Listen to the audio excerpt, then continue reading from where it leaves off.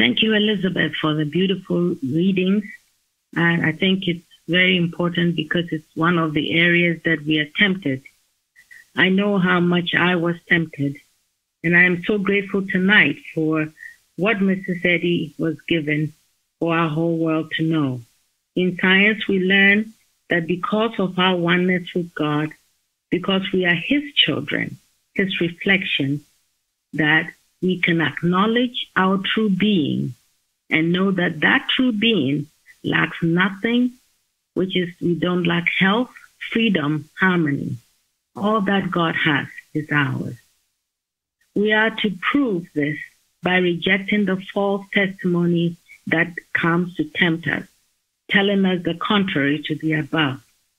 Part of this proving I found is in tithing. I used to be so afraid to tithe because I was looking at what I had and my obligations, and it was never enough. But I learned that to set aside that 10% for God demonstrated my loyalty to Him as an inexhaustible source, and that source will supply all my needs. So, with prayer for courage, I did so. I did do the tithing, and I found a change in my supply.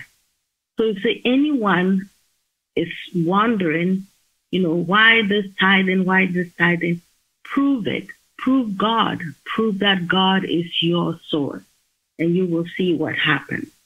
God loves us and does not withhold anything from us.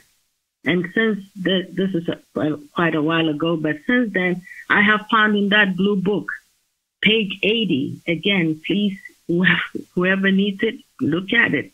Towards the end there, it talks about our work coming from mind, you know, everything He will supply our companionship, our recreation, and our supply from this inexhaustible, unobstructed, omnipresent source of income and infinite as is the source, so infinite is his supply.